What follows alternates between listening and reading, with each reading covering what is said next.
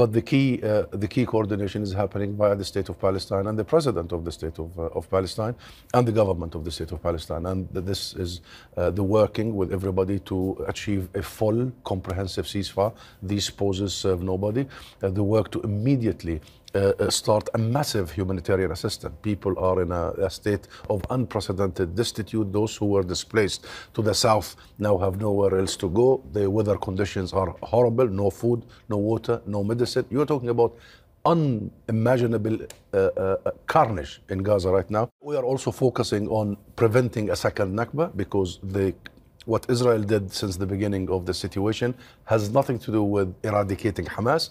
What Israel was doing was a classic design of a second Nakba, of ethnic cleansing. By second Nakba, you mean the removal of the Palestinian people from, from Gaza completely, do you mean?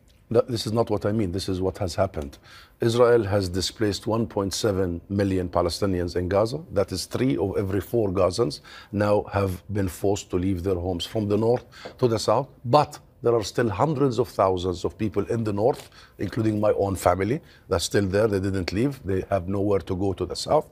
And those who live to the south are still being bombed. And if you follow what happened, Israel started by the most terrorizing airstrikes against civilians. That's a classic way of pushing them out. They destroyed their homes, then hospitals, schools, bakeries, playgrounds, UN shelters. All this is to turn uh, Gaza into unlivable. So what has taken place over the last month and a half was a classic case of ethnic cleansing. Now, people are still gathered in huge numbers in the south. People are still disconnected in the north.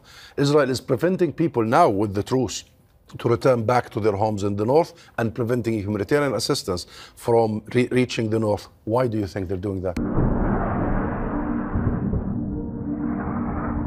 We are putting a complete siege on Gaza. No electricity, no food, no water, no gas, it's all closed.